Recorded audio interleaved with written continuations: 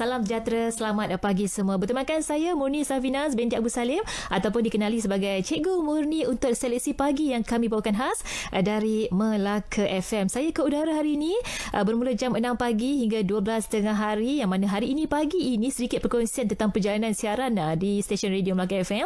Pagi ini sekitar jam 8.30 minit pagi nanti kami akan ke udara bersama dengan Yang Berhormat Datuk Wira Ghazali Muhammad, Timbalan Speaker Dun Melaka merangkap Adun Rim dalam segmen Apa Khabar YB uh, dan juga sekitar jam 9.30 minit uh, pagi nanti dalam segmen Sirah Rasulullah Sallallahu Alaihi Wasallam bersama yang bagi Ustaz Khairul Cik Salih ataupun cukup dikenali di Melaka FM sebagai Ustaz UK. Setelah saya habis berkonti nanti sekitar jam 12.30 hingga 6 petang bertemakan DJ Azizi Syahril yang mana petang nanti khas untuk peminat-peminat pantun anda boleh bersama-sama kami uh, dalam segmen Jom Berpantun di Melaka FM bersama juga pemantun yang cukup terkenal di Melaka Tok Zack anda boleh uh, WhatsApp di 0108061023 dan selepas itu juga ada segmen Sekeping Kuih Kongsi Bersama. Sekitar jam 6 petang hingga 12 malam bertemakan DJ Syarizat Abu Bakar ataupun DJ Izzat dengan lagu-lagu kerohanian. Ya itu sedikitlah berkenaan dengan uh, perjalanan siaran Melaka FM untuk hari ini hari terakhir tahun 2020 uh,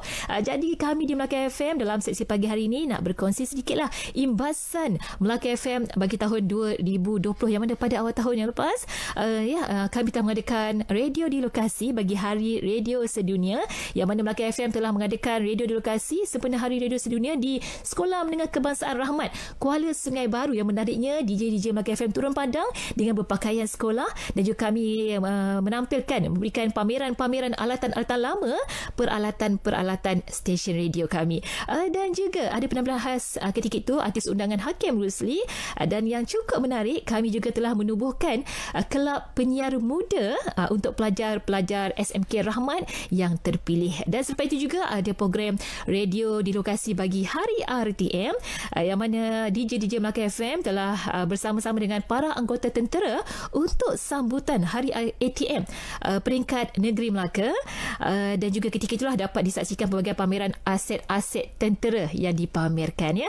Dan sebab itu disebabkan pandemik COVID-19 yang melanda dunia termasuk Malaysia dan juga amnya di negeri Melaka pelbagai aktiviti-aktiviti luar terpaksa ditangguhkan uh, dan kami di Melaka FM juga mengikut arahan kita tak boleh keluar kena duduk rumah sahaja namun Uh, rancangan-rancangan siaran radio semasa tempoh PKP uh, masih diteruskan seperti biasa ya.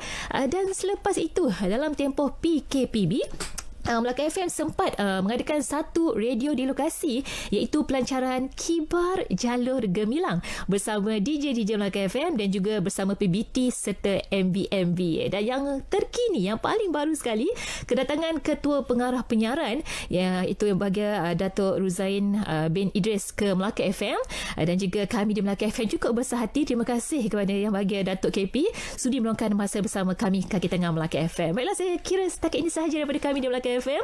Bunga melur jatuh telerai diambil gadis buat dandanan. 2020 melabuhkan tirai. Kita berjumpa di tahun hadapan. Terus setia mendengarkan RTM. Maklumat sahih jenama dipercayai. Terima kasih kepada penerbit Syazmi Izzuan. Kembali bersama Terence dan juga Syahida. Silakan.